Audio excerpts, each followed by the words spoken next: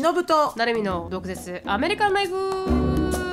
この番組はアメリカ在住20年超えバツイチアラフィフの忍と。17で留学アメリカで人生のエグさを知り29で沖縄に戻ってきたなるみが日本とアメリカの生活を毒舌に切っていく番組です。週1です。月曜配信以外の独占エピソードが聞けるサブスク会員限定のアフターアワーやオンラインサロンでは週2回の独占エピソードだけではなく忍となるみの座談会に参加できるなど盛りだくさんです。アフターアワーとオンラインサロンに関しては毒アメ .com そしてその他 SNS は概要欄をチェックしてみてください。はい皆さんお疲れ様です。ということで私のお疲れ様です。はいあのつぶやきは2つありまして、はい。で1つは、はい。あの将軍を見終わったっていうので昨日ちょちょうど私まだ見てない。いやめっちゃ良かったです。日本だよね。最初のスタートダッシュはなんか少しゆっくりなんですよ、うんうん。なんですけどなんかこうまあやっぱりあなんか徳川家康かなうん。なんか関ヶ原の戦いとかが出てくるんでの、うん。まあ、モデルになった人の白さんが言ったみたいなポリティカルスリラーっていうあ サスペンスっていうんですか、ポリティカルサスペンス。サスペンススっていうなんかこう政治的な問題とかが出てくるんですけど、うん。あのやっぱ、うん。エミー取った人がめちゃくちゃ良くて、うん。あん沢井さん？あの女性でしょ？あそうですそうです。演あの方すごいみんなハイリーレイティッドしてるよね、うん、もうめちゃくちゃ良かった、もう全てにおいてめちゃくちゃ彼女の演技が良かったですしやっぱ日本の将軍の役をやった方もすごい良かったですし。真田広之さんね、はい真田広之さん。もうなんかもう全てにおいてもぜ彼の演技のニュアンスっていうんですかこの感情のニュアンスとかが非常によく再現されててもう全て良かった。全て良かったんですけどストーリーもとてもなんか後半になってどんどん速くなっていくんですけどでもそれでも日本の間みたいなのが表現されて例えば茶道のシーンとかがあったりなんかして。でこの短歌とかで歌い合うんですよ。短歌って連歌っていうのかな？うん、シーンがあって、うんえー日本語、ほぼ90%日本語なんですけどもう連歌で言うシーンで、それをなんかこうあ相手がこう乗せてきてみたいなラップバトルなんかうん。近年のラップバトルみたいな感じらしいんですけどそのうん。こう歌を歌い合うこと自体が。でその歌にも意味があったりなんかして言ってる日本語もすごい難しいし英語訳もすごい難しいんですけど、例えばなんかこうん。うそれを解説した人の YouTube を見てたらなんか乱れ咲きっていう言葉をこの主人公が一回使うんですけど主人公ってこの女のマリコ様が使うんですけどその乱れ咲きっていうのは花が乱れて咲いてるよの意味もあるけどニュアンス的にうん。不倫っていう意味もあるからなんかこううん。このねあ上司に対してこういうことを私はしてしまったよってことを伝えてるんじゃないかとか思って本当細かいんですそのニュアンスが。だよくハリウッドの映画であんなにも日本の文化を美しく、うまくうん。そしていてすごくアキュレートに伝えてるなって、やっぱえやっぱエミーを取るだけの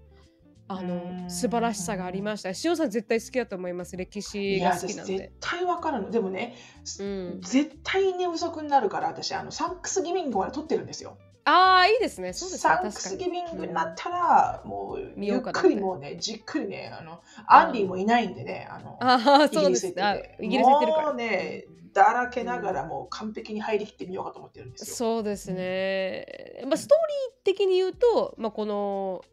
虎長っていう主,、まあ、主人公なのかな、将軍になり得る、まあ、虎長っていう人が、絶対絶命の自分のピンチをどうやって回避していくのかみたいなっていううん彼の、うんまあ、巧みな考え方と彼を支持する家臣とそしてアンジンっていう外国から、まあ、イングランドから来た外国人が日本の文化に馴染みながらとかっていうような。だからだから本当にいろんなところの目線からうんうん。日本の文化が語られているストーリーが語られているっていう意味ではとか南蛮人とか呼ばれてる時代のね、外国人の視点だったりとか、うん女性、うん日本人女性アフターアワーで一瞬話したじゃないですか、日本人女性の強さみたいなのを、あの沢井さんは伝えたかったみたいな本当に伝わります。ああそうだよなね日本の女ってそういう強さがあるんだよな真のみたいなのもううんまく表現できてたりなんかして。素晴らしいね。はいぜ全てにおいてはひこれ皆さんチャンスですよ。あの国際カップルでね、白人の方と日本人の奥さんで結婚している方、今年めちゃめちゃチャンスですよ、ハロウィン。ああ、その騒いできるから。その宣教師さんとね、あのその何？ザビエルと女性。あ沢井さん、なんだっけ女性。あマリコさん。沢井さん？そう、んマリコさんはほら着物ちょっとねか髪型こういう風にすればできるからすぐ、うん。でなんか安いほら着物ガウンみたいなの買ってよ、うん。でそうですよ。ね、白人の旦那さんはちょっとその 服装させちゃえば、うん。もう将軍になれるから。確かに確かに。すごい。今エミで一番ホットな話題ですから。あーすごい素晴らしかったなって思いました。ぜひしのさんに見ていただきたいし、皆さんにもうん。ぜひ将軍は見ていただきたいなと思ったっていうのが一つ、うん。とあと一つはあのうん。これもまた短いんですけど私前回あの、ピロリ菌を退治するなんかお薬飲んでるって言ったじゃないですか。はいはいはいはいそしたらなんかピロリ菌のなんかがある時のなんか汚ねえ泥水飲んでたらなんかなるらしいんですよ子供の時に。なんかこのリスナーさんからリ メッセージ入ってて汚い泥水小さい頃に飲んだらピロリ菌で。飲んだんか？うんはい。なるみは飲んだんか、うん、私そこら辺のなんか泥汚い泥水は飲んでたと思うんです子供の頃田舎に育ってたんで。うん。でそれでなりますよみたいなこと言われて、ああそうなんだと思いながら、まあ、退治するお薬を飲む前に。でピロリ菌がいる特徴としてなんか食欲がなくなるとかってあったんですけど私ピロリ菌いてもなんか5キロぐらい太ったんで、あのー全然ピロリじゃねえじゃねえかと思ったんですよその時に。シンプトムが。共存してらっしゃる。そうそうそうそう。一緒に食べてる。一緒に食べてる。一緒に食べててそれでピロリじゃねえじゃねえかと思ったんですよ。全然食欲そう減らねえじゃねえか増えてんじゃねえかと思ったんですよ、でそしたら、うん。このお薬を飲み始めてから、ものすごい腹が減るんですよ、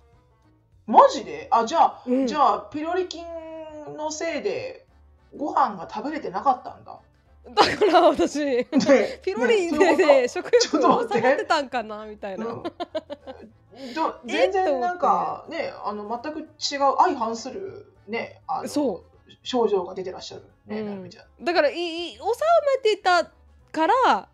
収めてたんだと思って。だピロリが死んだことによってし、かもその何薬の副作用ではないの？そって思ったんです。私も、うん。書いてないんです。だからふなんか嘔吐とかはあって発熱とかはあるんですけど、うん。絶対お腹減るとか書かれてないです全くもって、うん。空腹とかは、うん。でそれででもお薬とってめっちゃお腹減るから、うん。なんかもう昼ぐらいが震え始めるんです。ちゃんと、ね、シリアル食べて、ね。ヨーグルト飲んでとか。うん。うん。やってるのに11時ぐらいからお腹空き始めてめちゃ。今までにないぐらい空腹を感じ絶て、対なんか副作用じゃない、うん、それともピロリ菌が今までいいた状態があまりにも普通になっちゃって。そうそうそうそう。えこれが？えこれが普通の空腹なんかと思って。これが私の食欲？みたいな。そうそうそう真の食欲なのいつもの食欲だったの？これが？みたいな。そうそうそうだからピロリが死んだから私はこんなにもお腹がすくのかなと思って、今までらピロリが一生懸命食べてくれてたんだよ。そう。そんなもうこのそうそうそう私肉食う。なみたいな。一生懸命食べてくれたのピロリが。ねえ。そしたらほらわかんないですよね。退治しちゃったからあそうそうそうそう。いなくなっちゃったからめっちゃ腹減るようになって。で今日やっと終わったんですけど7日間のお薬が。それでちょっとまあお薬が終わったからこれからまあ、うん。なんなんていうかこう様子見なんですけど、本当にお薬がお腹空かせてんのかどっちかというと、ピロリがピロリ菌おが腹今までだったのか。いなくなったから、うん。そう。つながってるのかっていうのはこれから分かっていくはずなんですけど、今の段階でうん。いややっべえなこの食欲と思って、今までにないぐらいなんか腹が減るんですよ。じゃあもうあれだピロリ菌ロスだよなるみちゃんの体今。体ピがロリ菌ウィズドローウィズドローウィズドローピロリ菌のウィズドローウィズドロー震えちゃって震えちゃって。まあまあまあそのよくない菌なんですけど。そうだね、そんなあのなジョークにしちゃいけないね、本当にね、がんとかにもなっちゃうようなそうだそうだ、菌だからね。危ない菌なんですけど。ただなんでなんかうああまりにもお腹が減るからうん。ちょっとどうしたんかな、自分の体とか思いながら。ううんんっていう思ったっていうのがまあ二つ目のこれでちょっと落ち着けばいいね。そうなんですよ。ね普通の状態にね。そうだからお薬がなくなったら普通になるのか、うん。でもそれもなくなるのか。でもまうん。あ太った原因はアクレリアスを飲みすぎたっていうのもあるのかなと思うんですあれもね、結構糖分があるね。そうなんですよ。そうなんです。水飲まないかわらあのまあ甘かったら少し飲むかなちと思っょっと水が欲しい、なんかちょっと味が欲しいんだよね。そうなんす。です。そうです。でも最近水が飲めない子供たちも増えてるらしくて、いや、でもわかるな、うん。結構お水飲むの大変だもん。大変大変。うん。味ついてるとね、すんげえ飲めるんだけど、ね。そうなんですよね。でガクガクガブ飲めるんですけど。なんかやっぱね、うん。水って結構飲みにくいところもあるから。あの、うん。まあわかんないですけどね。だからちょっと様子見です今。私の真の空腹なのか、一時の気の迷いなのか、ウィズ・ジョローなのか。ウォーシーですね。ウォーシー。まあ誰も誰も関係ないですけど、どうでもいいですけどね。まあまあまあ、ぶっちゃけそんな関係ない。関係ない。でもほら、あのすごく皆さんピロリ菌のね、経験はしてらっしゃる方多いから、確かに確かにもしかしたらこれを言うことで、いや、実は私もすごいお腹減ったんですよっていう人いるかも、あ、いるかもしれないです。だからもうハロウィンだから、ハロウィンのミステリーとして話させていただきました。そうだね。スプーキーだね、これもまた。スプーキーですよね。新しいスプーキーストーリーが追加されました、私の辞書に。ピロピロリ菌がいなくなったら、うん、お腹がすごく減り始めたっていう。あのスプーキーなストーリー。はい。でした。以上でした。ちょっと知りたいですね。はい、同じような経験をしたことがある方がいるのか。はい。以上でした。ありがとうございました。はい。ありがとうございます。はい、私のつぶやきはですね、はい、えーと、まず最初にちょっとしたあのなんでしょうお知らせなんですけど、うん、あのご存知ない方もいらっしゃると思いますが私は実は、えー、副業としてファイナンシャルコンサルタントっていうお仕事を5年前からしていて、うん、はい、でこうやって聞くとなんか株を運用してるのとか、なんかすごくお金のお金持ちに対してのサービスなのとか思う方いると思うんですけど、そんなことはなくもう販売するのは本当に生命保険から介護保険から個人年金保険から、まあ、保険商品が一般的なんですよね、ただ、まあ、金融商品でもあるのでアメリカの保険商品って、なのであとそう分かりづらいすっごく。なので、まあ、それを、ね、因数分解して、まあ、日本語でお話ししてコンサルテーションをしてで何かいいものがあれば仲介に立つっていうことをしてるわけですよね。うん、でその中で今週の19日これがオンエアされるのが14日なのでで、うん、19日の土曜日にあの CDH 会計事務所の藤本会公認会計士さんという先生をお呼びして、で、えー、日米の年金戦略っていう、うん、まあ、日本の年金アメリカの年金どうしたらいいの？どっちがいいの？どういうふうに？もし永住権を放棄して帰ったら、もし永住権を放棄しないで日本に帰ったらとかね、うん、日本の国民年金をどうやって、えー、アメリカでもらったらとか、そういうこう年金にまつわる、うん、えー、ご説明っていうのを藤本先生からしていただいて、うん、で、あの私たちのグループの橋本愛というあのコンサルタントが、えーと、あれですね、個人年金保険の部分っていうのをちょっと、えー、ご説明するっていうセミナーをやってますので、うん、えーと、まだね、受付終わっていないので、もし皆さんご興味があれば、私のインスタグラムの方にあの飛んでいただければ、えー、このバイオの方に登録のリンクを貼ってありますし、うん、あの私のこのインスタグラムのポストに、えー、10月のお金の講座っていう内容で、えー、詳しく書いてあるので、ぜひぜひチェックアウトしてみてください。対象はアメリカに住んでる日本人ですもんね。はい、日本人が聞くわけじゃないですよね。うねうんまあ、基本的にはアメリカに在住している日本人まあ、将来的に移る予定が対象になる、うん、うん、そうですね。あの将来的にアメリカに住むので、うん、ちょっと知っておきたいっていう方も全然ウェルカム、ただ、どちらかというと標準がアメリカに住んでいる人っていうところで結構話が進んでいくのでそこだけ理解していただければ大丈夫です。はい、はい、ありがとうございます。で、えー、私のこのこの今回のつぶやきはですね、うんあのハロウィンってことで10月、うんはいはい、であの、まあ、子供たちと、まあ、家族でいつもこう週末の夜は映画を見るんですけど、はいはい、あのそのこちょうど昨日日曜日の夜見た映画が、まあ、ハロウィンってことでちょっと怖いの見ようってことで、うんうん、でまあうちのねあのちょっとあのグロテスクな怖い映画担当はあ映画なんでそうですね、うん、あのエリカがまた持ってきたわけですよ。うん、ああいうの知ってる、私いいの知ってる。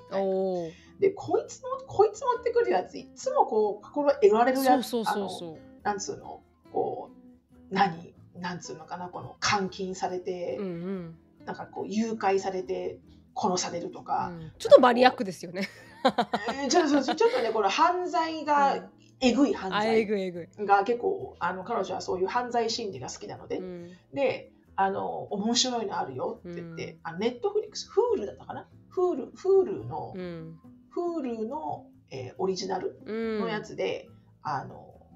フレッシュっていう、えーと、映画なんだけど、うん、まあ、どういう内容かというとサウンドは爽やかですけどね。あそうね、サウンドはねあのフレッシュっていう、まあ、新鮮なって意味だよね、で、まあ、ざっくり内容を言うと、あのお医者さんである男の人が、まあ、非常にこう頭いかれてる人でう。ん、でその方が、まあ、女性、まあ、若めの女性を誘拐して、うん、まあ、あの閉じ込めて、うん、で、えー、徐々に徐々にその人たちの肉を切り裂いてでこう要は人間のステーキを、うん、そう、うん、はいハイエンドな方に裏あの裏道で売ってるわけですよ、すごい料金で、うん、もうこんなちっちゃいのがなんか300万とかで売ってるわけですよ。うん、ででそのストーリーなわけ。だから結局このあの誘拐された女の子たちは各自分たちの部屋が与えられて、だってほらあのお肉ってストレス感じるとまずくなるから、あのいいものを与えられてこうストレスがないそんな無理だけど、誘拐されてる段階で。そうですよね。でもこうこうやっぱ薬をね使って、うん、あのあまり痛みを感じずでもこう日に日に日に日に自分の部位が消えていくわけよ。怖い。あ足が切断されていくとか、うん、ね、胸が片っぽなくなるとか、うん、でそのあの代表その主人公役の女の子は最初にこう切り取られた部分が自分のお尻だったのね、うん、お尻のお肉、でそんな風にやっていくんだけどでもそういうグロテスクなところは一切見せないの。はいはい、なんかちょっとちょっと危ないラブロマンス系なこう系な感じで入ってって、うん、だんだんとこうちょっとチリングなスリリングが入ってくるんだけど、うん。うん、すごく良かったの途中まで。うん、なんかちょっとこうあんまりほら愚痴ブチャっていうのを見せないから全然、うん、もうなんかこのマインドのマインドゲームみたいな感じ、逃げたい彼女とそれをキープしたい彼との、うん、こうなんかちょっとマインドバトルみたいな感じでちょっと面白かったんだけど、うん、最後の最後でなんで？って思ったところがあって、うん、でこれあのフレッシュっていう映画を見たい方はこの部分だけカットしてくださいね、ね。ちょっとスポイラースポイラーになるので、はい。なのでカットしてくださいね、で最後要はこの逃げることができるシーンが来るんですよ、このあの良くないこの男の男性のお医者さんが完璧に気絶してこのキッチンで倒れるシーンがあるのね。うん、でそこでこの犠牲犠牲者になった3人の女の子がこう助け合ってそこから逃げようとするんだけど、うん、殺さないのよその人え？あこの男。わかります、うん、気絶して倒れてるのね。うん、で自分たちがいる場所ってちょっとこうあの都会から離れた、こう平面のところにいるいるわけよ。でまずさ第一によ、殺さない？この人。えー、殺さない。気絶してるんだよ。まあまあ気絶してて絶対起き上がるに決まってんじゃん。うん、なんかね、あのー、そうですね、ドゥエンダ・ジョンソンぐらいでかかったら殺してるかもしれない。そんな速く走れないかったら殺さないかもしれない。でもさ、うん、なんていうの、そこで、まあ、ストーリー的にはね、うん、あのそのホラーストーリー、ホラーっていうか、そのスリラーストーリー的には、うん、気絶し、あ死んだかなって思った輩が、ね、また起き上がって、あの、アタックしに来るっていうのが、まあ、まあ、王道です。というかね、うん、王道なのかもしれないけど、うん、そのねストーリーを見てると、うん、お前こここまで自分の自分たちの肉を切り刻まれたわけだから、もう相当なさ復讐能力があるわけだ確かに同じことをしてやろうみたいな。だったら私絶対殺すと思うんだよね普通に。しかも本当にその場から逃げたければ携帯電話もつながらないような偏僻なところにいるわけよ。うん、ってことは結構時間かかるじゃん。あの助けを呼ぶまで。そうですね確かに。携帯電話でポンポンって言えないから、朝まで待たなきゃいけないとか、うん、だったら1人がパニック状態であの死んだかと思って逃げたらああっていうのあるかもしれないけど、うん、3人もいてよ、うん、ななぜ殺さないと思ったの、うん、で殺さない状態で3人が逃げるのよその家から、それか足切るぐらいですかね？足のアキレス腱を切っておくとか。いいと思う,、それもすごくいいと思う、切っちゃうとかね何せ絶対ね走ってこれないし。そうですよねそうですよね、うん、正解私、その 正解。ホラームービーだったら生き残れるタイプ。足切るの。すごくいいと思う。走れないから、ででもその3人が「早く逃げよう」とか言って家から逃げるの、うん、もうそこからしてまず殺さないところ私はもうなんかブーで、はいはい、であのそこから逃げる時逃げるか、うん、逃げる時も「お前ここ田舎だぞ」と。逃げ切きれるわけないじゃんそんな切り刻まれてる体で。うん、でここの人が起き上がって銃でも持とうもんならもう殺されるじゃん。死にますね。うん、そのようになるわけよ。あこの人なるんだやっぱり定番で。銃で銃で追っかけてくるわけよ。うんうん、だねその辺からもうこれはプロデューサーがちょっと最後もうあマラソン疲れたでしょみたいな、うん。うん、もう最後もうどうでもいいやって思ったでしょ、うんうん、みたいな感じ、うん、えで結局？ちょっとね惜しかった。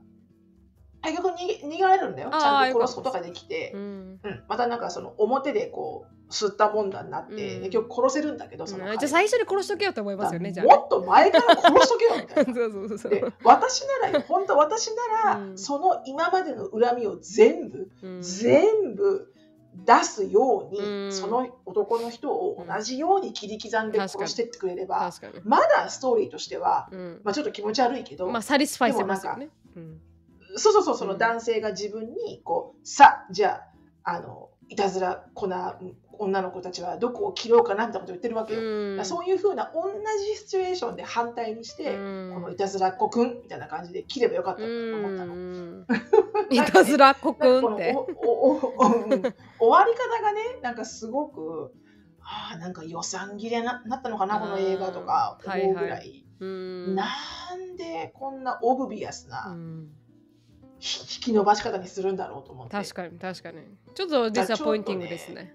うん、そうそこまではねなんかうんなんか斬新な感じで、うん、なんかポップなホラー映画みたいな感じ、う。ん、で、まあ、やってることはちょっとそこむごいんだけど、はいはいはい、でもなんかちょっと面白く見れた、こ怖さもあったし面白かったから、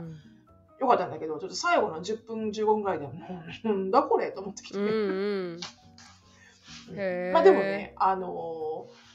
ちょっとエンターテインメントという面ではいいけると思うから、うん、うん、あのツッコミがいもたくさんあるから、はいはい、あのでも3分の2は面白い。Keep You Guessing が3分の2は面白いです。ただ最後の 最後の3分一番重要な3分の1が面白くないんだ、うん、もうなんかあのドリフターズでいうもんなんか何でもかんでもでーんって回したいって感じ。リファレンスがわからない。ドリフターズってわからない。ドリフターズはわかりますけどドリフターズ見た回るんだと思いました一瞬ドリフターズは。そうなのよ、うん、あれってほらこうか、ね、コントが始まって、うん、でどもうてんやわんやでどうしようもなくなった時に、シーンが変わるのよ、はいはいはい、次のシーン、だからもう終わりですみたいな。はいはいはい。うんどうしようもないんで終わります。ね、収集つかないんでみたいな感じだった。そうそうそうそう。それぐらいな影響だった。あれは。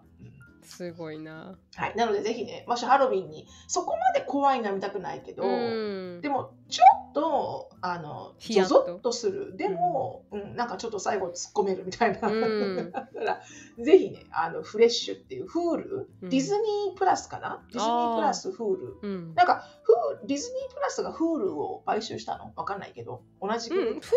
ールがディズニープラス提携したのかってしたっけ？プラス？違うかな。うん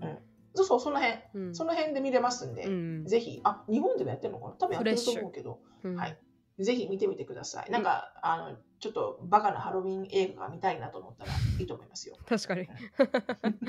ありがとうございます。はい。以上でした。はい、前にね、なんか私、ちょっとスポイラー言わ言うことに対スポイラーですよって注意されたことが一つあって、なんかスポイラーを言ってないつもりなのに、うん、あの、うん私地面師話しすぎですしすぎですって注意されたことあったんですけど、その、うん、その、うん、注意された内容が地面師のうん、あのエピソードについてあ地面師について話した時に塩さんが見てない時で、あの最後から2番目のエピソードは30分ですって言ったと思うんですよ。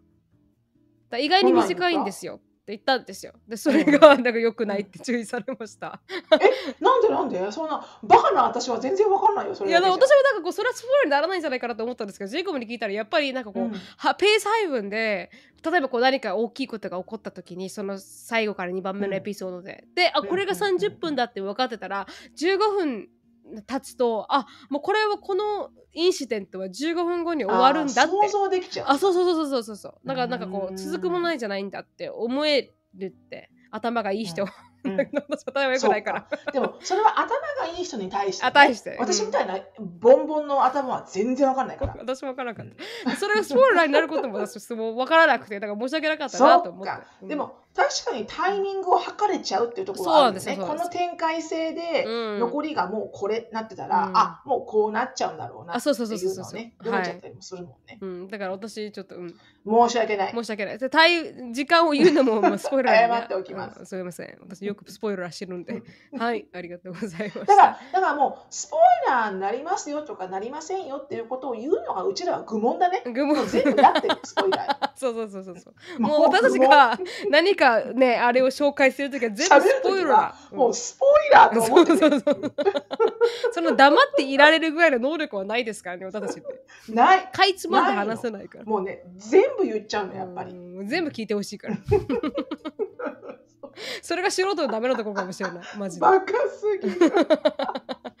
本当に、本当にですよ。いや、そういうツッコミの、あの、キレキレな頭のいい方がツッコミで入るといいね。そうですね。だから素晴らしい。はい、あの、突っ込まれたんで、うん、これから気をつけなきゃなと思いました、一応。はい、はい、頑張ります。気をつけます、はい、今日のトピックに入りたいと思います。今日のトピックはですね、はい、あまああの今、うん、アメリカで非常に話題の、うん、あのディディ、うんパフ・ダディ、うん、まあなんかいろいろ P ディディとか、まあ、いろんな名前あ、うん、ショーン・ディディ・コームズっていう、まあ、リアル本,、本名はそうなんらしいんですけどいろんな名前がある、あの方がまあものすごい、まあ、有名な icon よね。はい icon。私は全然あんまり知らなかったんですけどどういう人だったんですか、うん、あていうか私もじ人格は知らない。あ分かる。歌とかって意味で。曲、うん、曲でしか知らないどんな曲でした曲も知らない？なるみちゃん。あ、でもね、ちょっと聞いたら分かった。わかるでしょ？ってやつですか？もうプロそうそうそうそうそうそうそう。うん。の歌を歌ったとか。そう、あのー、ってやつこれですね。知らなかったそんなそんな有名な方だったら私全然知らなくて。まあ、結構90年代、 early 2000の人じゃないですか。これいつだろう？なので、でもその彼、まあ、彼は一応プロデューサーでもあるし、 music label のオーナーでもあったので、うん、その彼が今刑務所の中にはいるんですけど、うん、その事件があまりにもセンセーショナルだったので、ちょっと皆さんに共有したいなと思います。うん、今界隈ではすごい話題にはなってるんですけど、なんかさ、うん、刑務所に入ってる時なんか刑務所にさいきなりさ、うんパピーダディ来たらびっくりするよね。確かにね。わあみたいなね。マジってなるよね。本当ですよね。ものすごいことだとは思うんですよ。こんなに、まあ、すごい有名な人が捕まるっていうの。ハリウッドレポーターっていうウェブサイトによると、まあ、タイムライン、ディディが何をしたかっていうタイムラインで、ディディ、ショーン・ディディ・カームは、まあ、ヒップホップ界のかなり有名なアイコンとなりました。うんでそんな彼がセッックストラフィッキングだったりとか、うん、性的暴行だったりとかいろんなことで、まあ、今問題にはなっているんですけれども2029年の9月17日にマンハッタン2029年ごめんなさい。2024年の。すいません。9って9月っていうのが頭に入っちゃった 未来未来未来未来になっちゃいましたね。すいません。英語を日本語に直すと結構難しい。スプーキーすぎるよ。ね、確かにね、シンプトンズみたいな未来を予想してるみたいになってましたね。大変申し訳ない。2024年の9月17日に、今マンハッタンの刑務所で、あの、まあ、逮捕されましたと。でなんでこれがすごく、まあ、話題になったかっていうか大きく取り上げられたかっていうとまず2023年11月16日に送ったカサンドラっていう彼の、まあ、ガールフレンド、うん、シンガーで言うとキャッシーかなっていう彼女が、うん、まあ、何年もディディにこのセクシュアルアビュースいろんな性的暴行を受けていたハラスメントを受けていたレイプもされたっていうことをベースに訴えたことが、まあ、きっかけだったんですけれども、うん、ちなみにこれはね settle out of court for undisclosed sum ということで実際には、まあ、いくらかでセトルされた、ね、まさにその通りです。お金で解決されてしまった問題なので明るめには出なかったんですけど正直このディディの問題は、うん、1990年代からずっと金で解決されていてだからこそ今まで一切明るみに出てこなかった。っていう。そうなんだ。はい。なので、まあ、それはまあ最終的に後からわかるんですけれども、彼女が暴行を受けている動画っていうのがありまして、それはもうしのさんと一緒に見たとは思うんですけど、うん、それが あのホテルのロビーというか、まあ、あのエレベーターの前でカサンドラさんがもうボッコボコにされる、まあ、動画が世に出てしまってそれがものすごいバイラルになってしまって、うん、彼の、ね、今までの、まあ、悪態というかいろんな悪いことをしてきたことが世の中に海のように出てきてしまったと。うん、うん、ちなみにハーフスポットが出している記事によりますと、9歳も性被害を訴えということで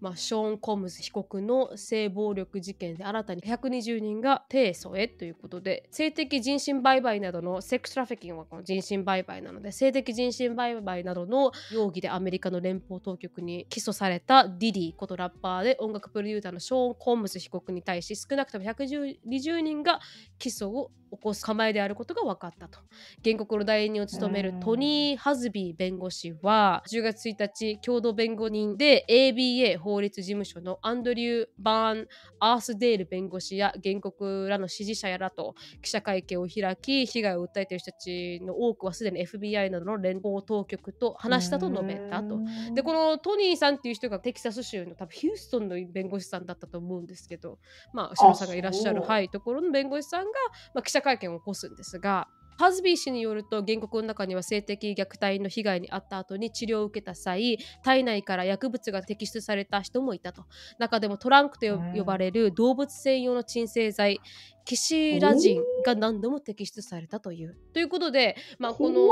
何がこう具体的に起こったかというとディディっていうまあ、ラッパーはフリークオフっていうパーティーを開くんですよ。で業界のすごい有名な人たちをこのパーティーに呼んででそこで彼が作ったドリンクを飲ませることによってそこにはもういろんな本当にまあ、これは噂でしかないですし本当ではないかもしれないですけど、コケインだったりとか鎮静さっき言った鎮静剤が入ってたりとかしてそれを飲ませることによってもう一旦この体の機能を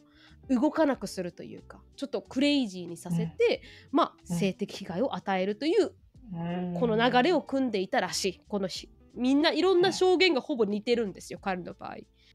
っていうことで。連邦当局は9月16日に性的人身売買などの容疑でコムズ被告を逮捕したがコムズ被告は無罪を主張していると。ハズビー氏は被害者のほとんどはコムズ被告が連邦当局に逮捕起訴されるまで怖くて声を上げることができなかったと述べたと。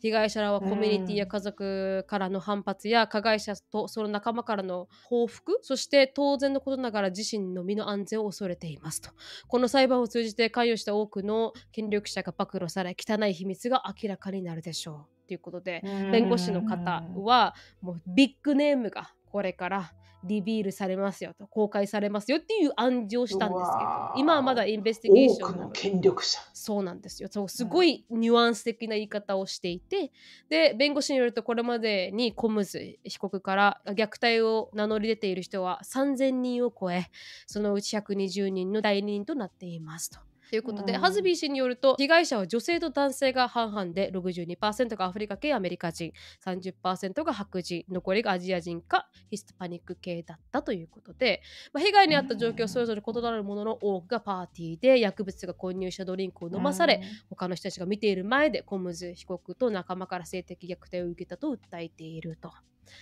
で当時22歳だったという原告の一人はドリンクを断るとパーティーから追い出されたと証言したという原告によると性的虐待の多くはオーディションやパーティー会場で行われその中でも多くのセレブが出席することで知られるコムズ被告の主催のホワイトパーティーにも含まれていたと。でちなみに9歳の少年はコムズ被告が立ち上げたレコードレーベルバッドボーイレコードのオーディションを受けた際にスタジオで性的虐待を受けその後本人や両親と契約を結び約束されたと述べていると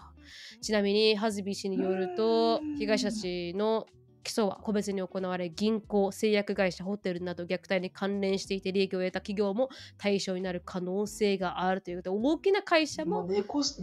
そぎ言っちゃってくれ。はい。関わっていると言っていると。まさにその通りで、まあ、この有名にしてあげるよっていう甘い言葉からそこに行って性的虐待を受けている。でまあこれも本当に私がね個人でやったリサーチで確かではないかもしれないですがただ、まあこの有名な人で挙げられているのはアシュトン・カッチャーあの Jay-Z、ビヨンセであとはあのアッシャー、でアッシャーとピンク。ジャスティン・ビーバーも被害者の一人だったはい、その通りです。あのジャスティン・ビーバーは15、6歳の時に彼のアッシャーのね、引き抜きで言ってるので、その時にいろんな性的暴行を受けたんじゃないかと言われていて、で、うん、ヤミーっていう彼が出してる歌があるんですけど、それがなんかこう、その時の様子を、まあ、訴えてるんじゃないかっていうまあこう本当にコンスピラシーシリーズというか本当ではないかもしれないけど、はい、そういうことを言われていると。でその、うん。特にアッシャーとピンクの場合はディディが捕まるその前に前日ぐらいにツイッターを全部消してるんですよ。ツイッターの履歴を。で、アッシャーそうなんです。だからピンクがどう関わってたかマジでわからないですよ。本当それは何とも言えないですけど、うん、ただ、アッシャーの場合は、うん、ハックされたって言って、履歴が消えてて、みんなそれを、いや、ハックされてるわけないだろ。その通り、ハックされてるわけないだろみたいなことを言っていると。まあでもそれもまだ全然何が関わってるか正直何とも言えないですし、アッシャーも彼のところに加わったのがすごい若い時なんで、彼ももしかしたら性的被害を受けてたのかもしれないっていう。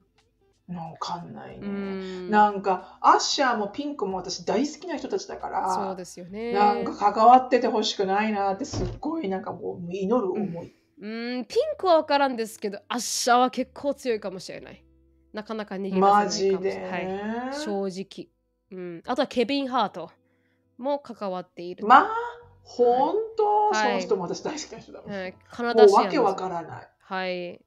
キム・ケイとかもね、あのカナダシアンズも関わっていたり、ジェイロー、ジェニファー・ロペス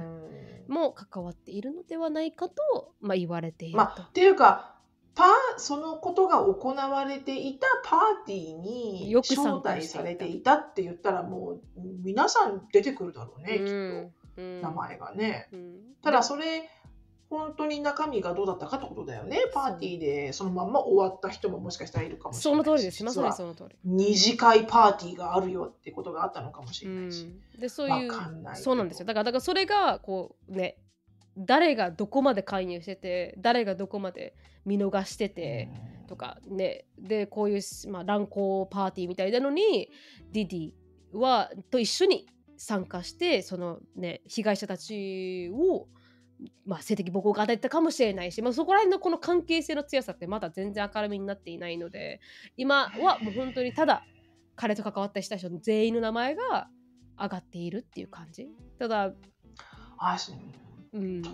えられないね。考えられない。で、ビヨンセと Jay-Z はこの期間で4 4 million のフォロワーを失ってるんですよ。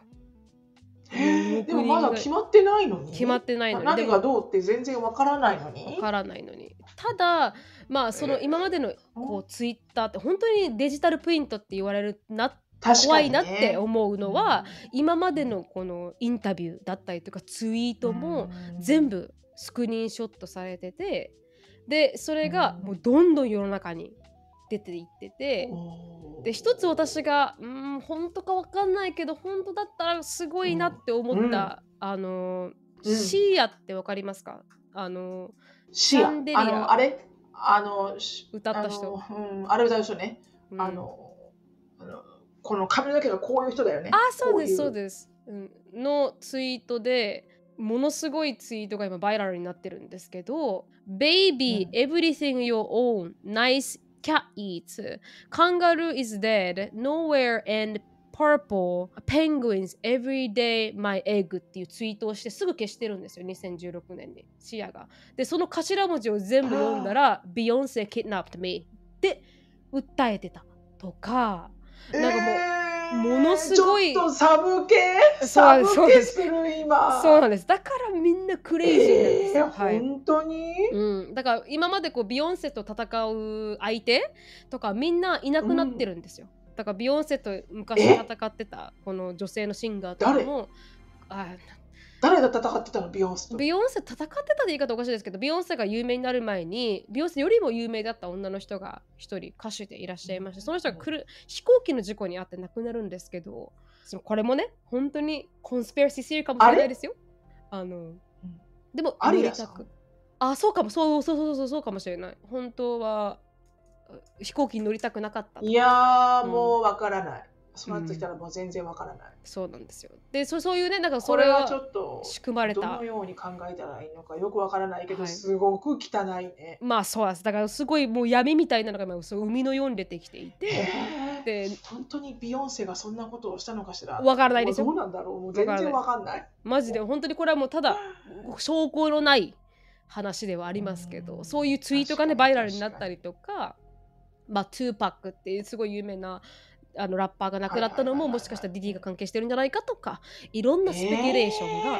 どんどんどんどん海のように出てきていると。うん、怖い。どういうふうに決着つけるんだろうこれ。そうなんです。今すごい怖いんですけど、まあ、ちなみにディディのマンションのには地下があったって言われておりまして、うん、恐ろしい。でそれがインベスティゲーターが入った時にあのアンダーグラウンドのトンネルがあったということでこういうふうにね実際にリディのパーティーに行ったっていう人は証言はしてるんですよ。こう地下に連れて行かれましたみたいなことを言っていて、うん、でこのマンションの下にいろんな何かこうすごいね長いトンネルがあったりとかが発見されている警察が押し入った時にあのベビーオイルが1,000本見つかったりして なんでベビーオイルが1,000本あるんだっていうことでそれもねおかしい、ね、おかしい。でそしたら そしたらこのディディのこれちなみに1000本のベビーオイルなんですけどほこれ本当にその彼の家？そうなんですよ。1000本のベビーオイルが見つかったって言って。でこの弁護士の方がいや Costco で Costco で大量に買ったんだって弁護したんですよディディのことを。サチアボシね、そしたら Costco が私たちはベビーオイルを bulk で売らないっていう statement を出したんですよその後に。そりゃそうだよ。コスコの名前を出してくれるのだよね。そうなんです。私たちに関係性ないよ、ね、すごくあの、うん、失礼だよね。はい。とかね、まあ、そういうふうに。絶対こんなベビーオイル塗ることないですよ、そうなんですよそうなんですよだからもう1000本もあるっておかしいじゃないですか。だからいろんなでっかいデリ、まあ、でっかいベイビーデイデイケアでもこんなないですよ、うんうん、で奈々子さんの件もそうでしたけどやっぱアメリカの政府とかこの警察とかってやっぱちゃんとした証拠を見つけない限りこうね家に突入するとかないじゃないですか。何をね信頼したらいいか分かんないけどあのエプシュタインさんもねす。ごいセックストラフィキングをしてたじゃない、うん、うん、でもやっぱりさこう金を全てを手に入れてもうありとあらゆるお金がわんさか入ってくると、うん、そうなるんかね、人間は。うん。ね。チャリティーに使え。うん。そんなに金があるならと思わない？そうですね。湯水の方にようにねお金があるんだったらね もっといいことに使ってくれよと思いますよね。ねまあもちろんねそんなそういうふうに皆さん考えられたらこういう犯罪とかは出てこないんだと思うんですけど、まあ、確かに、うん、なんか本当人間って怖いね、うん、一番弱い生き物なのにね地球の上で。うん。なのでまあ本当怖い。はいいろんなことが今明るみになってこういったああいったって。で、まあ、正式な発表30日ぐらいにまた行われるらしいんですけどこの弁護士の言った方は30日間ぐらいにはもう新しい情報をあのお伝えしますみたいなことになってる。猶予があるんですけど。もうね、本当にね、あのね、申し訳ないの本当、どなたかね、あの、おちんちんを切る法律っていうのを作っていただきたいんだよね。そういうやってきた。あの、エクス、そうそう、エクストリームな場合だけよ。もちろんね。ん私、本当にね、これ誰かがほら、合法化しようとしたことがあったんだよね、アメリカのね、議員さんか、女性議員さんか、誰か。うん、実際にこう、そういう考えが出た。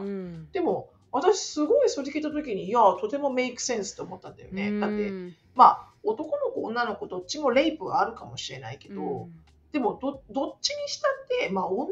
子が男の子をレイプするときはどうしたらいいもんかわからないけどまあありえるとは思いますけど、ね、まあ、性的暴力、ね、まあまあまあ大半、うん、やっぱね現実的に大半やっぱり男性が女性へっていう方が比率が大きいとする、うん、そうするとさやっぱりさそれが元凶じゃない？そこにそれがあるから。うん、だったら、例えばその内容によってね、うん、もう何回も何回もそういうレイプ被害をしてる人で、うん、だとしたら、うん、もう申し訳ないあなたも本当ね切らせていただきますと、で切断する。うん。まあそれがなくなったところで性欲が消えるわけではないっていうのはあるかもしれない。はい。まあ、まあ、そんなことも思ってしまいました。はい、そうですね。まあ今大きい問題となっておりますとそれが。ということでいかにね、まあ、自分をこのこんな大変な状況、まあ、一番の問題はそういうパーティーに行って、うん、そういう知らないドリンクを飲んだことが、ね、まあもろあのこういう被害になっているので、まあ、どういうふうに自分を守っていくかっていうのでアメリカで自分を守っていくためにはっていうウェブサイトを見つけましたのであの皆さんぜひまああのさっきエリカとも話して、まあ、アメリカというか日本でもどこでもですね。あまあそうですね確かに。あのエリカともさっきちょっとエリカのチップも教えてもらったのでバーテンダーとしての。それも含めながら、ね、自分を守る方法を理解していけたらなと思うんですけど、ちなみに。本当です、本当です。はい、あの、Seven Ways Women Can Stay Safe at Parties ということで、まあ、アメリカに行ったら、誰しも必ず1回は2回ぐらいパーティーに参加する機会ってあるし、まあ、バーとかに行ったらドリンクを飲む機会はあるとは思うんですけれども、まあ、1つ目、Always be in a group and use a buddy system ということで、ちゃんとしたグループにいることによってそこから抜けないとかちゃんと自分が信頼できる人と一緒に行くとかトイレに行く時も一緒に誰かと行くとかそういうふうにこうバディシステムだったりグループの中で行動しましょうと、そうすると何かね、キッナップされることもなければねあの連れ去られることもなければ、友達にどこにいるか。ね、はい、でさっきエリカと話した時は、まあ、エリカはダニーちゃんっていう、まあ、隣の近所のダニーちゃんだった子と場所を共有してるって話もしてましたしね。うん、だ常に自分たちがどこにいるのかっていうのは分かるようにしていると。で2つ目「Make your own drinks」ということでさっきも言いましたがこのドリンク作られたドリンクを渡されバーテンダー以外の人から作られたドリンクを渡されたりとか、まあ、ドリンクになんかこうね薬物を入れられてしまって飲んでどんどんどんどん自分の意識がなくなってしまったりとか事件が多いのでできるだけバーテンダーさんがちゃんと作ったものを自分がちゃんと取るとか誰かにドリンクを持ってきてもらうとかではなく自分が作るようにしましょうっていう。でこういうインシデントも確かに多くてさっきエリカが言ってみたいに本当にドリンクにこうやってかぶせられるようななんかこのビニ、うん、まあ、ゴム状シリコン状のなんか蓋みたいなのがトロだけこうやってさせるような穴が開いているっていう、うん、それはどこにでもつけられるし誰かに盛られることがないような便利アイテムみたいなのも、やっぱ Amazon では売っている。だもしそういうことにちょっと怖いなとか興味がある方はそういうのは確かに売られていたりとかして。で、うん、まあ、avoid any and all fights ということで、まあ、誰かと、まあ、まあ、アーギュメントになったりとか、まあ、戦うことがないように、うん、そういうあの場所は避けましょうということで。で次、space out your drinks and know your alcohol capacity ということで、まあ、自分がどれだけ飲めるのか。でドリンクを飲む際はちゃんと一気にどんどんどんどん飲むんじゃなくて、時間を空けて自分の意識が100%コントロールできるようにしましょうと、日本では安全なんでね飲みすぎて床に寝ても何もされないかもしれないですけど、まあいるじゃないですか日本のドランクカルチャーとかって、アメリカはやっぱりそこら辺がもうそこが知れないので、絶対に自分のアルコールのキャパは知っておいた方がいいですよと。で、まあ、stay sober in unknown crowd っていうことで、まあ、誰も知らない自分が全くもって知らない人がいるところのパーティーに行く場合はもう飲まない、うん、飲むことすらやめる。もうコーラでするとかそうなんでするとか、もう飲むことをやめましょうと。で、まあ、carry a small snack in your bag ということで小さいこのスナック、まあ、ご飯とかお菓子だったりとか、をあの入れていくことによって飲み過ぎたりする時に自分のアルコールをコントロールするためにお菓子を食べたりとかして炭水化物を入れることによって、このコントロールできるようにはしましょうと。で、trust your gut で自分がちょっとダメなシチュエーションにいるかもと思ったら、その勘を信じて行動しましょうということが、まあ、言われていますよと。アメリカのパーティーでは。で、さっきエリカがおっしゃってたみたいにエンジェル、エンジェルショット？エンジェルドリンでしたっけ？あ、エンジェルショエンジェルショットです。うん、エンジェルショットでしたっけね。うん、は、なんかこう、まあ、バーテンダーの方に言うと、自分が少し、このよくわからない人から逃げたいとか、うん、なんかこの人危ないとか、うん、薬を盛られたとかなんかこうすごい必要以上に構ってくる人がいるって時にバーテンダーに私は初めてこれエリカに言われて聞いた知ったんですけど、うん、炎上シャーって言って、うん、Can I get an 炎上シャーはい、とかねいうことによって、まあ、バーテンダーはそれが、まあ、暗黙の了解ではい。で理解していて何かこう彼女が彼女彼がアンカンフタブルなシチュエーションにいるんだなとか居心地が悪いシチュエーションにいるんだなということでセキュリティガードを呼んだりとかすることができるっていう、まあ、コードがあったりする。うん。で、まあ、守ってくれるってことだよね。はいはい。でエリカもそれは1回だけ人生で言われたことがあって、うん、で実際にエリカの経験した相手の場合は、まあ、薬を盛られてしまったのでこの人、うん、ぜひスコートアウトしてくださいということで、まあ、セキュリティガードがその男性をバーの外に連れて行ったという経験はエリカはした。さっきは話してもらってましたけど。でちなみに私が見たあのセーフティー対策としては、まあ、何か自分がキッナップされたりとかね。なんかどっかに連れ去られたら、うん、もう誰かにそれを気づいてもらいたい場合は親指をあなんていうんですかこの中に入れて。手のひら。で手のひらに入れて4っていう数字をして。で4っていう数字をグー4グー4っていうことを繰り返すことによって、うん、まああの助けてっていうサインまあ、言葉にしなくても誰かに助けて私こういうこと状況にいますよ助けてくださいっていう時にこのサインをすると理解してくれてる人は、あ何か彼女は悪いシチュエーションにいるんだな彼は悪いシチュエーションにいるんだなってことを分かってくれるサインっていうのも存在するらしい。だからもし自分が、ね、なんかこうキンナップされたとかっていうシチュエーションはそれを使ってそれはワールドワイドなのかね？そのこのサインは。アメリカの TikTok で私は見たのであのワールドワイドかって言われたらわからないですけどでもカナダのカナディアン・ウォメンズ・ファンデーションっていうところが作ってるんでカナダとアメリカでもしかしたらね北アメリカであのやられている行動なのかもしれない。この親指を入れて4でグーポグーポってやるやつは。そういう方法で自分を、まあ、すごい大変なシチュエーションから、まあ、に逃がしてあげるというか。っていうことはあの前もって知っておいた方がいいのかなとは思いました。どうでしょう？聞いてみてしのさん。今まですごく好きだったアーティストが。いやちょっとどう考えたらいいかわかんないよね、なんか本当に真実はどうなってるんだろうって。まあ100%真実を知ることはできないかもしれないけど、うん、うん、でもなんかジャニーズのあのジャニーさんみたいに、ね、あの人死ぬまで犯罪を犯して、何の罪も滅,、滅ぼさずに死んじゃったじゃん？それよりかは、あよかった。まだこの人ねちょっと若いうちにというか、うん、しっかり罪を償わさせ,、させようと思ったら償わさせられるしそうです、ね、こういうふうにこううわーって出てきたことであの本当一掃していただきたいよね。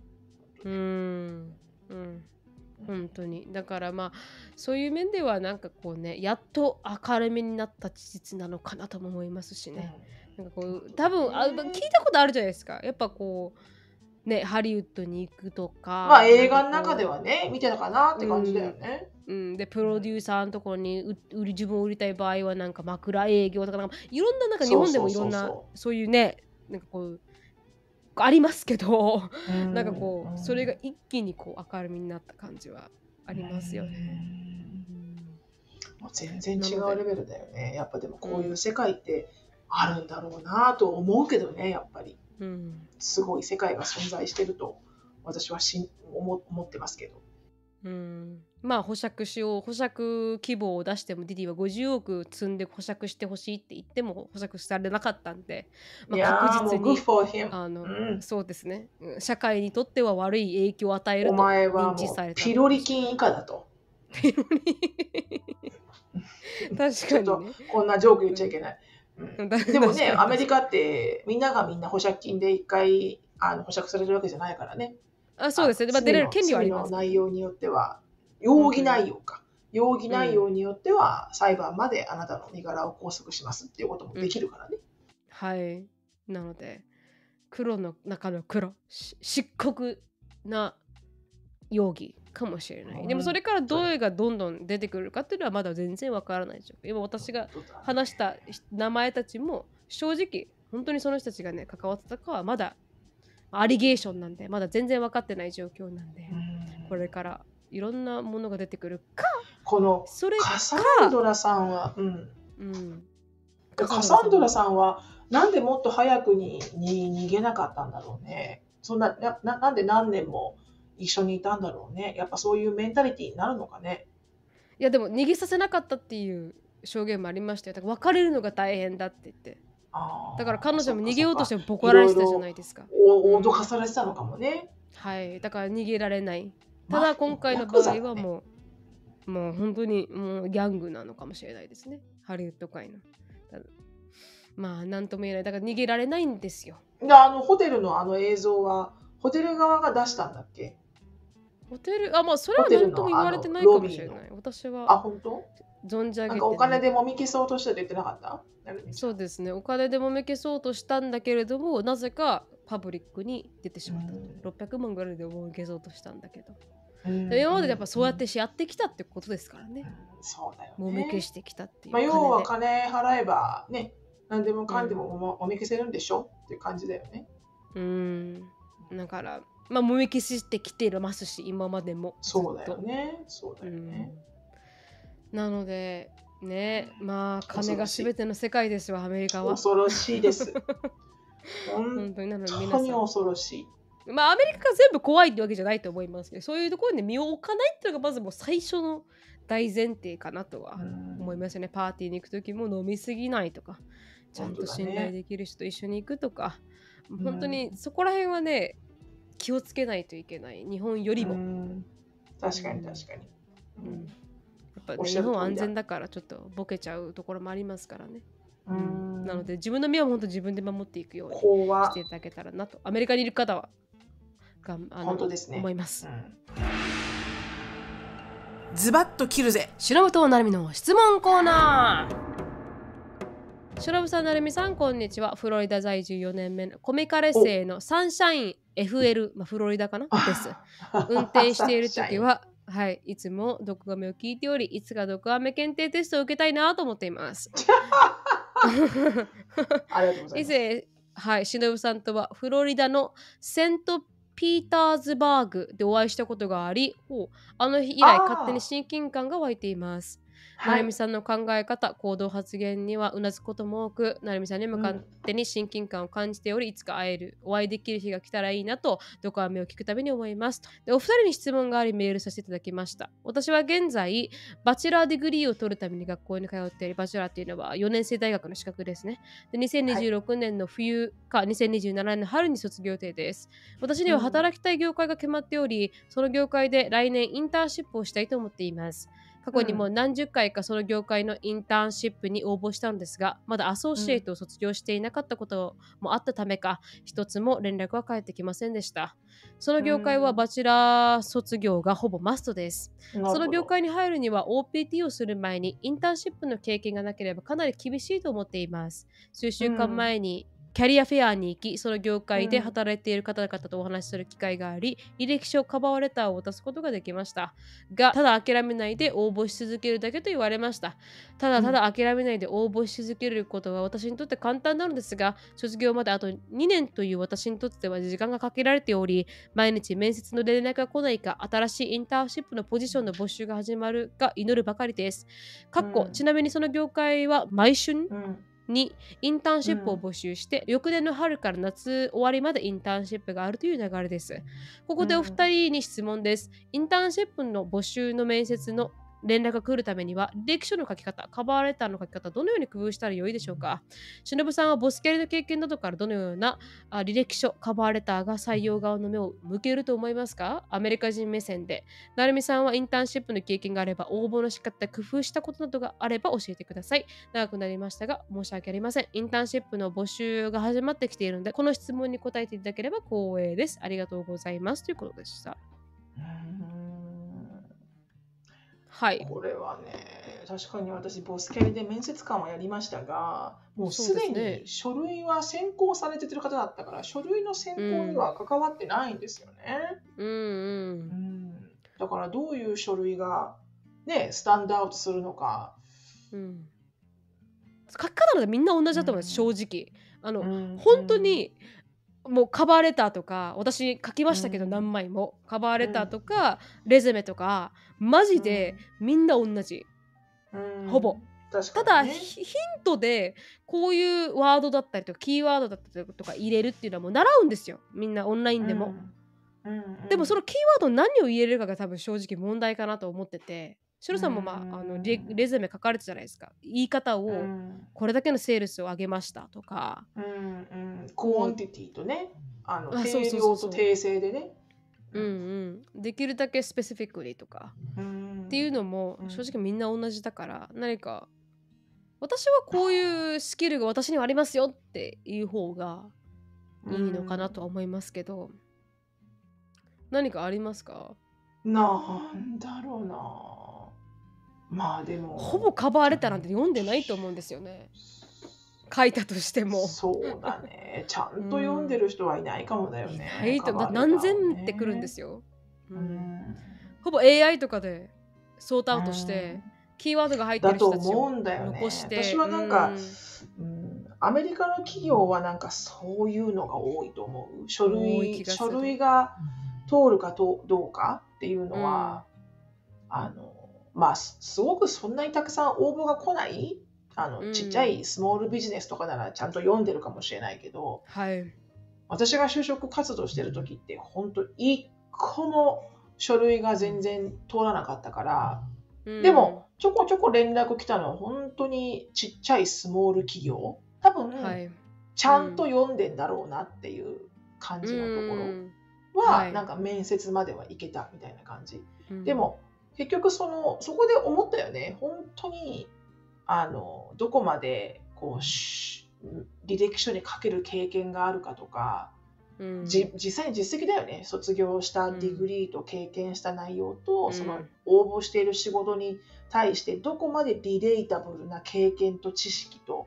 学歴がバックアップしてるか、うん、で、はい、絶対振り分けられてんだよね。間違い。言われてますで反対に言うとそれやらないと企業はもう追いつけないよね。全員のあの応募を見てたら。うん、私はカレッジの時に、まあ、このコミカレの時にあの仕事探しで4年生とか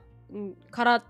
しか受けられないところとか募集しましたけど、うん、一切電話来なかったんで多分学歴でも sort out されてるんだなって、うん、当たり前なんですけどね。なんか当たり前だよ。 sort out されててもうほぼ associate の私は全部カットされてるんだろうなっていう、うん、もう見てすらもらえてない。だとそうだと思うよ、うん。だってじゃないと合理的じゃないよね。合理的じゃない。よっぽどなんかコネがあったりとか必ず質問があるじゃん、Do you あの is any なんか、レラティブ work at this company とかさ、誰かこのカンパニーの中で兄弟ないしは家族とか親しい友人が働いてますかとか、そういう時ってこのパーソナルリファラルだから、そうすると多分全然こう、まずは書類がピコンって受かると思うんだよね。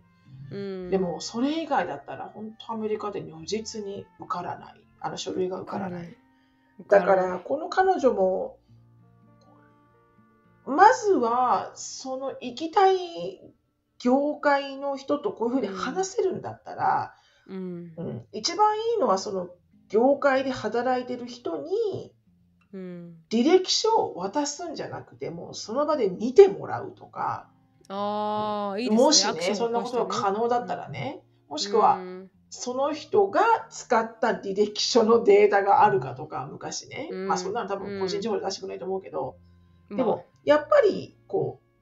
なんかあると思うんだよ、パターンが。うん、だってそこは絶対何か自動な振り分けでピックアップされてると思うんだよね。はい、大きな企業であれば企業であるほど、うん、それこそにこういう人気のある業界であればあるほど。うん、で、その書類が受かった後はもう自分勝負じゃん、面接だから。そうですね。うん、本当に。ね、そこからはもういかようにも訓練できると思うけど、書類受かんないとね、この土俵に入れないんだよね。そうなんですよね、うん、いかに自分がね自分に自信があったとしてもね紙で落とされたらもう仕方ないです、ね、に入れなかったら戦えないからね。戦えない戦えないだからもう、ね、いかに自分でキーワード入れるかその業界がヒットするキーワードを入れるかそれさんが本当に言ったみたいに実際その人たちに会って「ごめん見てもらっていいですか？何が欠けてると思いますか?」とかってちゃんとフィードバックもらってその色に合わせるか、うん、そうそうそうそうそうそう。そうかなって思いますよね。私はもうバカなんで。お金を払って誰かにやってもらう。あのちょっとコンサルテーションを受けるとかね。そうですね。確かに。っていうのもあると思う、うん、まあ、学校がねそういうシステムあると思うし私も見てもらいましたしね、うん、レゼメは、うん、学校のこういうキャリアセンターみたいなとこあるじゃないですか、うん。うん、ただ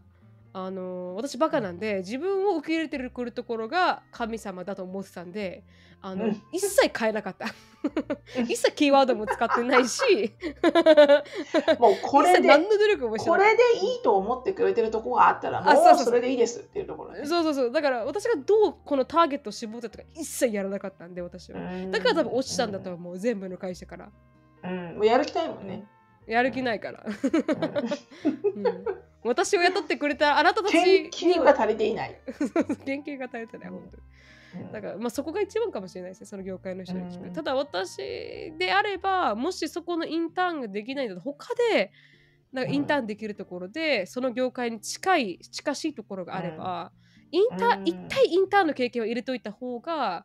あの、就職には有利かなとは思いますよね。例えば、えどどの業界も SNS とかは使うんで例えばねインター SNS のインターンで SNS 学びましたっていう箔がつくようなインターンがあればそこに行けばいいし、別にその業界に直接関連しなくても仕事する経験は1個挟んでおくといいのかなって思いますね。うん、確かにね。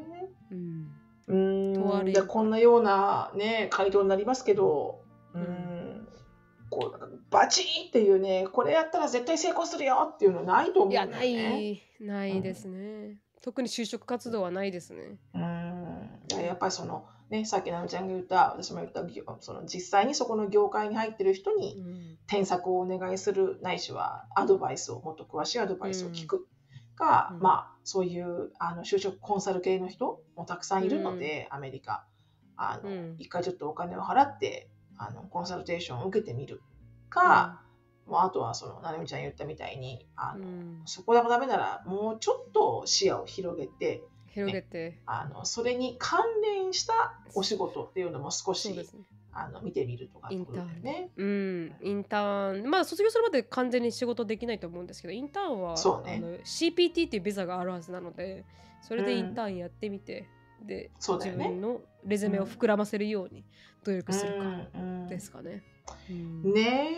え。あともうある程度ねとりあえずもうやれることはやりきる、うん、確かに、うん、うん、それしかないよね。あまりこう深く考えず、うん、特にアメリカはもういかに早くからインターンの準備をしてインターンをやるかが就職活動の あれになりますからね。助けになりますからね。本当に、うん、経験あるかとか言われるんでね、うん、Do you have any experience? 学生でしたと言いたい。学生でしたよっていう、のうのうと生きてましたよでは通じないんだね、アメリカの就職は。I was doing 100% in the study. 本当ですね。Then I'm ready to work right now. 確かにね。時間がなかったんだよ、あの勉強でって思いますからね。うんはい、以上なんかたまになんかそういうさ、うん、ちょっとこう、ブチ切れたような面接とかも、なんか今考えるとね、やってみたかったなって思うよね。こうわけわかんない質問とかしてくる面接官に、例えばそれこそ、経験はありますかとか言われたら、How am I supposed to get that? みたいな。うん、I was too busy to get my degree みたいな。確かに、確かに。とかさ、なんかそういう、なんかこう、ちょっとカウンターディベートをしてみたいよね。じゃあお前はあったんか？みたいなさ。経験があったんか、ね、みたいな。審査するときにとかさ。うん難しいですね。円の問題だなと思いますし。うん。難しいね、うん、兄もなんか本当に。大きい会社に最近入ったんですけど受け、受かって、うん、でもなんか、お兄ちゃん？5年間うん。そうです兄5年間の下積み時代。転職というか、うん、あの正社員だったって感じです。あ契約社員か正社員だったのもその業界に彼10年ぐらいいるんですよもうすでに。で5年間ずっとその会社で試験を受け続けて最後の5年目で、あの評価されてっていうのも本当なんか大変だなと思ってなな長い道のり。うん。すぐ採用されるとかじゃないというかだからもう就職って難しいなって思います。いやもう本当なんですよ、もう生活がかかってるんでね就職はね、うん、はい。うんわかる。でもねできることをやるしかないからね結果としては、そのうん、目の前のことを一生懸命やるしかないですよね、うん、本当です。なのでぜひね頑張ってみてください、いろんなちょっと視野を広げてね見てみてください。本当です。ドンギバはい、うんロンゲーバップですね、うん、ありがとうございました。今日はここありがとうございます。はい、皆さん良い1週間をお過ごしください。お過ごしください。質問感想やポッドキャストで取り上げてほしいトピックなどがありましたら、なるみしきや gmail.com までご連絡お願いします。毒アメが大好きなあなた。ぜひお聞きのポッドキャスト媒体で良いレビューをお待ちしております。または SNS でハッシュタグ毒アメとつぶやくとハートとコメントが返ってくるかも。では皆さん、今週も1週間頑張りましょう